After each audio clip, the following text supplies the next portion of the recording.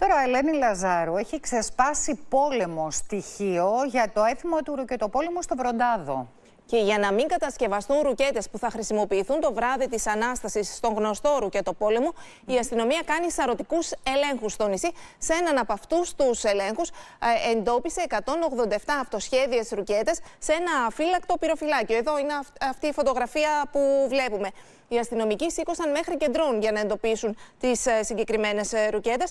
Το πασίγνωστο έθιμο, όπως είπες και εσύ, είναι κυριολεκτικά στον αέρα, αφού κάποιοι κάτοικοι έχουν στείλει εξώδικο στον Δήμο, το οποίο έχουν κοινοποιήσει και στην εισαγγελία ε, και στο Υπουργείο Προστασίας του Πολίτη και έχουν στείλει επιστολή και στον Πρωθυπουργό, ζητώντας να μην γίνει, γιατί όπως λένε είναι παράνομο και επικίνδυνο και για τη ζωή τους αλλά και για τις περιουσίες τους. Σήμερα ήταν προγραμματισμένη και έγινε συνάντηση ναι. των κατοίκων αυτών που συνοδεύονταν από το δικηγόρο τους, κύριο Νικόλαο Κωστακόπουλο με τη Δημοτική Αρχή, αλλά αυτή δεν οδήγησε πουθενά, αφού ο Δήμαρχος συνέχισε ε, να στηρίζει το, το έθιμο, λέγοντας ε, ότι τα εισαγγελικά και αστυνομικά μέτρα δεν μπορούν να το ξεριζώσουν. Και οι κάτοικοι συνεχίζουν να αναρωτιούνται γιατί πρέπει να πείσουν τη Δημοτική Αρχή να εφαρμόσει τον νόμο. Θα δούμε λοιπόν τι θα γίνει. Ελένη, σε ευχαριστώ πολύ.